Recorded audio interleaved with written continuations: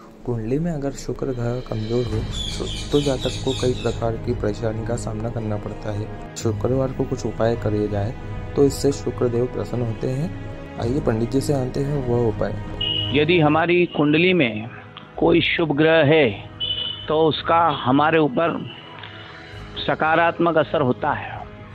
और कोई ग्रह अशुभ स्थिति में है तो उसका हमारी कुंडली में नकारात्मक असर होता है।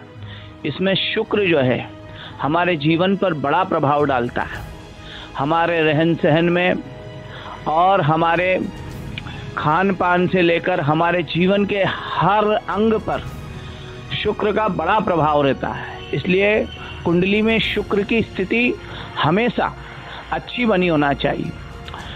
हमारे जीवन में यदि शुक्र कमज़ोर है तो ऐसी अवस्था में हमें चाहिए कि हम शुक्रवार के दिन काले वस्त्र पहनने से बचें और जितना हो सके उतना शुक्रवार के दिन सफ़ेद वस्त्र धारण करें, जिससे हमारे जीवन में परिवर्तन आना प्रारंभ हो जाएगा। शुक्रवार के दिन गाय को घी लगी, रोटी उसमें गुड़ रख करके देना चाहिए सफ़ेद गाय को। जिससे कि शुक्र की स्थिति मज़बूत होती है। शुक्रवार के दिन भगवान शिव जी को दूध, मीठा दूध अर्पण करना चाहिए। जल चढ़ाकर के मीठा दूध चढ़ाकर पुनः जल चढ़ाना चाहिए और सफ़ेद चंदन लगा देना चाहिए, जिससे शुक्र की स्थिति प्रबल होती है, शुक्र प्रसन्न होते हैं।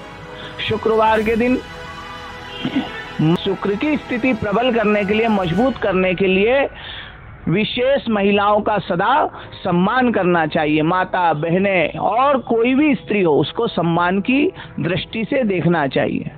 शुक्रवार के दिन मादक पदार्थों का सेवन नहीं करना चाहिए। किसी भी प्रकार के नशीले पदार्थों का सेवन नहीं करना चाहिए।